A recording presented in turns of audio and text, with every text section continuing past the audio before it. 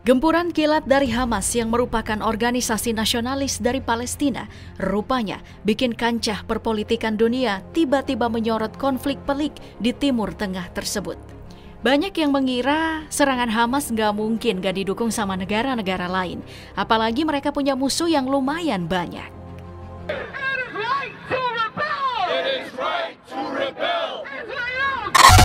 Salah satu yang mungkin paling membenci Israel adalah Iran dan semua tahu itu. Saking bencinya, Iran pernah bersumpah menghapus Israel dari muka bumi. Tapi yang mungkin kalian tidak tahu, sebelum revolusi Iran tahun 1979, Iran dan Israel itu adalah teman, sekutu, bahkan punya kerjasama militer dan ekonomi yang kuat. Iran juga adalah negara muslim kedua yang mengakui kemerdekaan Israel dan selama perang Iran dan Irak, Israel yang memasok peralatan militer Iran. Saat itu Iran berada di bawah kuasa Syah Iran, Muhammad Reza Pahlavi yang cenderung dekat dengan Amerika Serikat dan Israel.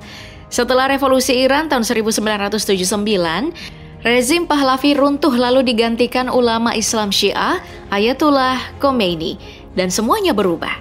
Di era rezim yang baru, Israel dianggap sebagai kekuatan imperialisme di Timur Tengah dan menganggap Israel adalah perpanjangan tangan Amerika Serikat. Bukan cuma itu, Iran juga menganggap Israel adalah negara ilegal yang sudah merebut tanah Muslim Arab dan mengusir orang-orang Palestina dari tanah air mereka. Ketegangan Iran dan Israel pun bertambah meningkat setelah Israel menginvasi Lebanon pada tahun 1982. Iran lalu mengirim sekitar 1.500 pasukan revolusi Islam ke Lebanon. Saat Mahmud Ahmadinejad berkuasa, Iran juga tetap menyerukan anti-Israel. Bahkan dialah pemimpin Iran yang menyerukan untuk memusnahkan Israel dari muka bumi.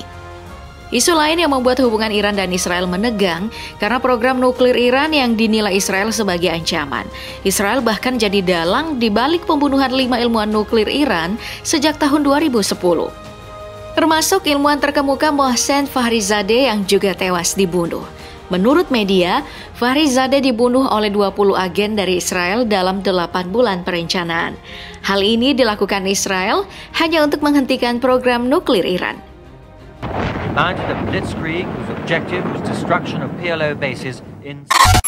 Lebih lama dari Iran, Suriah sudah membenci Israel bahkan saat Israel baru memproklamirkan kemerdekaannya di tahun 1948.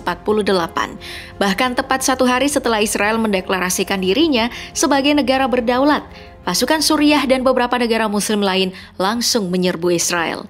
Alasannya sama dengan negara muslim lain, Suriah tidak pernah mengakui Israel sebagai negara yang sah tidak mau menerima paspor Israel untuk masuk ke wilayah Suriah, juga melarang warganya bepergian ke Israel.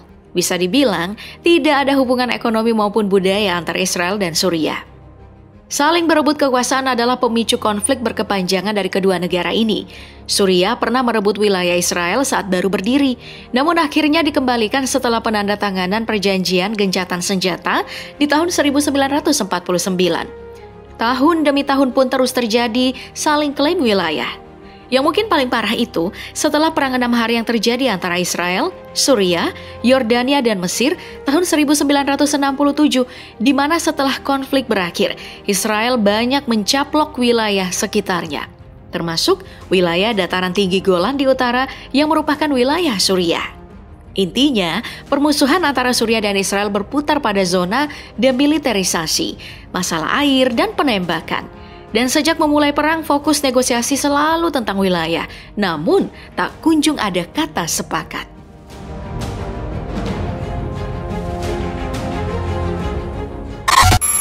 Sementara antara Lebanon dan Israel Konflik keduanya sudah terjadi sejak Perang Arab Israel di tahun 1948 bergejolak. Kalau bicara tentang sejarah, Lebanon ini memang ikut serta, tapi sekaligus negara yang jadi bagian Liga Arab pertama yang mengisyaratkan gencatan senjata dengan Israel di tahun 1949. Dibandingkan dengan negara Liga Arab yang berkonflik dengan Israel soal batas wilayah, perbatasan Lebanon dan Israel ini adalah perbatasan paling adem ayem. Sebenarnya Lebanon adalah negara yang beragam secara agama dan saling menyokong. Ibaratnya, jika kepala negaranya dari Kristen, maka perdana menterinya dari Islam atau sebaliknya. Saat Israel pertama berdiri, Lebanon adalah rumah yang aman bagi populasi Yahudi. Lalu organisasi pembebasan Palestina yang direkrut ke Lebanon membuat keseimbangan antara Muslim dan Kristen terganggu. Konflik panas baru terjadi di tahun 1970-an yang dikenal dengan Perang Saudara Lebanon. Selama tahap perang ini, Israel mengambil kesempatan bersekutu dengan milisi utama Lebanon Kristen yang saat itu memimpin Lebanon. Imbasnya, hubungan antara Lebanon dan Israel pun tak kunjung membaik. Israel semakin dibenci Lebanon setelah menduduki sebagian wilayah selatan Lebanon dari tahun 1982 sampai tahun 2000. Ditambah, ada kelompok Hizbullah di Lebanon yang menjadi ancaman terbesar bagi Israel.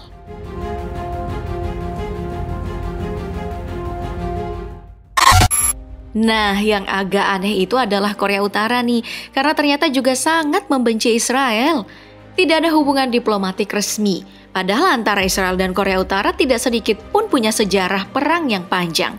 Tapi Israel ini adalah sekutu dekat dengan Amerika Serikat dan juga tidak ada hubungannya antara Korea Utara dan Israel disebabkan karena bantuan Israel ke Korea Selatan selama Perang Korea. Ini alasannya mengapa Korea Utara bahkan tidak mengakui Israel dan lebih memilih mengakui kedaulatan Palestina atas seluruh Israel. Imbasnya, Korea Utara langsung merespon dengan menjadi negara pengekspor rudal ke Iran, Suriah, dan Libya dan Korea Utara bahkan pernah mengirim 20 pilot dan 19 personilnya ke Mesir selama Perang Yom Kippur di tahun 1973. Bahkan, saat konflik Israel dan Gaza meningkat di tahun 2014, Korea Utara disebut merundingkan senjata dengan Hamas.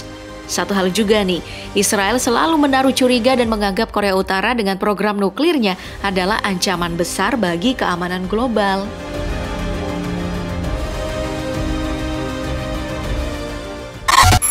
Salah satu negara yang juga tidak berminat membuka hubungan diplomatik adalah Indonesia.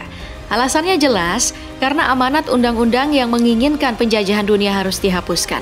Itu juga tertuang dalam Peraturan Menteri Luar Negeri Republik Indonesia Nomor 3 Tahun 2019 yang menjelaskan kalau Indonesia tidak memiliki hubungan diplomatik dengan Israel. Jadi, kalau sikap Indonesia menolak keikutsertaan Israel di ajang Piala Dunia U20 di Indonesia, sudah sikap yang sesuai dengan amanat undang-undang. Bahkan jauh sebelum aksi penolakan pejabat, Bung Karno mengeluarkan perintah agar tim nasional Indonesia menolak bertanding melawan Israel di kualifikasi Piala Dunia 1958 Swedia. Padahal tinggal selangkah lagi Indonesia bisa lolos Piala Dunia. Meski begitu, Indonesia tidak sepenuhnya menentang Israel. Indonesia hanya cenderung menjadikannya masalah sebagai bentuk dukungan terhadap Palestina. Indonesia tetap melakukan hubungan bilateral dengan Israel dengan setiap tahunnya Indonesia mengimpor barang dari Israel dengan nilai total puluhan juta dolar.